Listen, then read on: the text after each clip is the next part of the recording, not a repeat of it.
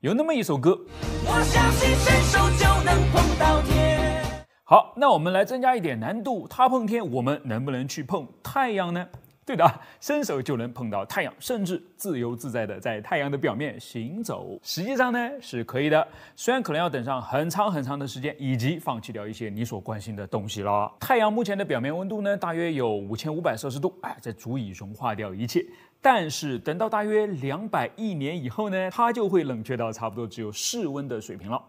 我们都知道啊，太阳靠燃烧氢产生核聚变来发光发热。随着时间的累积，聚变越来越多，更多更重的元素呢就在太阳的核心聚集，其自身的质量也就会越变越大，产生更大的引力，燃烧更多的氢。于是，在大约五十亿年以后，这些氢就全部烧完了，太阳开始一边坍缩，一边膨胀，一边炸飞自己的外层，一边丢掉自己攒了几十亿年的体温，直到两百亿年以后，最终迎来命运的终止符，一颗体积只比地球略大、温度只与室温相当的白矮星。好了，要是你真的能够活上两百亿年，此刻能否骄傲地站上太阳呢？依然是有点难度的啊！因为如果你驾驶着飞船一头扎向这颗白矮星的表面的话，其巨大的压力将会帮你把飞船加速到大约光速的百分之一。你是可以停得下来啊，但是停下来的时候是身首同处还是身首异处呢？好，好像也不难说啊，肯定是后者呗。唯一温柔一点降落的办法呢，就是学习打水漂了，从切线的方向进入轨道，在白矮星基本已经稳定的核聚变大气层上滑行，慢慢的将速度减下来。这个过程又需要花多长时间，以及又需要你准备一些什么装备，咱们就不考虑了。毕竟你都已经活了两百亿年，来到太阳的表面了嘛。那么现在你终于可以迈出一个更加著名的 one step 了吧？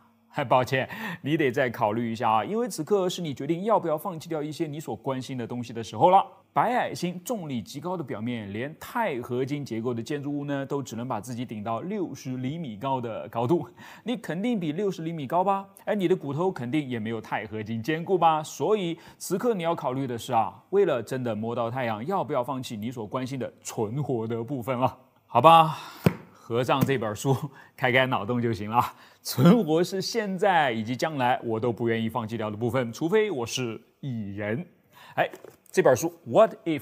二终于来了，说实话等了好久，因为在此期间呢，我又把 What If 一看了好几遍，每遍都不会腻，每遍都能把脑洞再撑开一点点，所以强烈推荐给你。哎，是既有趣又有用，学到很多知识，升级很多认知，孩子大人都需要啊。哎，当然，如果一本不过瘾的话，就直接买三本喽。门罗脑洞三部曲 What If 一二，再加上这本 How To，保证让你爽到起飞啊！哎，不过需要注意安全降落哦。